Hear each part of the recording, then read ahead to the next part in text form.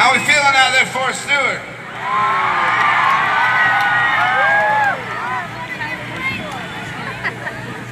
So I don't know if you know, Dave and I grew up in Georgia, so we, uh, got a little bit of a connection to this place. Got some friends, got some family here. So, uh, a, you said go dogs? Yes. Go dogs! Sick.